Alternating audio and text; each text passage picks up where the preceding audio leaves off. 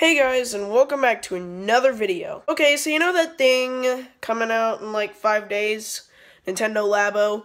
Yeah, here's what I think about it. I think it's a really, really good idea, but there are some flaws that come with it. Okay, but before that, if you don't know what Nintendo Labo is, it's basically this.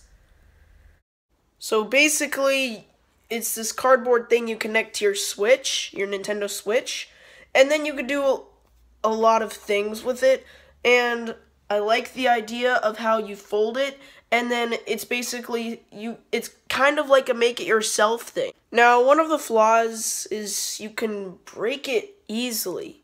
Like it's you got to remember it's just cardboard and pieces that are kind of inside it, you know, it it's just cardboard protecting those. I could just cut it in half with scissors. And if it's in the middle of the floor, you could just step on it. Like you gotta remember it's just cardboard. So if you break your consoles a lot, um, I recommend not getting this unless unless you promise to be very very careful with it because you got to remember it's really fragile. It's not like glass fragile, it's a different kind of fragile. Now, yes, there are some parts that are bigger and harder to step on, but I still wouldn't step on something like this either. And also, this is not just a kid thing, it's a parent kid thing. For example, there are some kids out there who have a hard time cutting cardboard, and I'm one of those kids. So, if you're a kid out there, you probably want to do this with your parents because, well, it would be fun for them and because it's not a thing you do alone. It's it's it requires adult supervision I, I know this seems horrible, but it probably has some parts in there that you'll need help with your parents to make.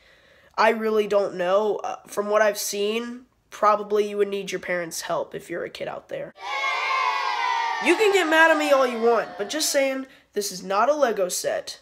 This is a little bit more complicated, and this is something that requires kind of a team.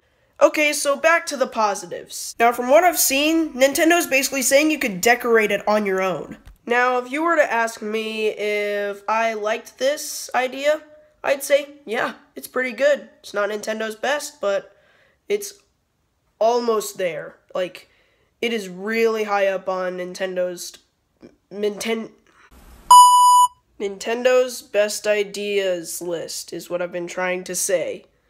Oh gosh. I mean, usually when I stutter, I just, well, delete it and redo the clip, but this stuttering clip was too good to leave out of this video. I'm sorry about that. Anyway, I'm gonna end this video before I get too off track.